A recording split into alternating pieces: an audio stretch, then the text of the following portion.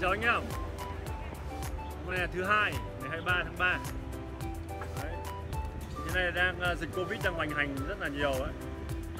Nhưng mà không ảnh hưởng gì đến ờ, công việc của anh em Phú Xuyên Solar cả. Anh em vẫn đang triển khai lắp đặt đèn bình thường. Hai tấm pin năng lượng mặt trời cho đèn pha 200W lên sóng. Là cái trong ờ, điện máy trung tín đây.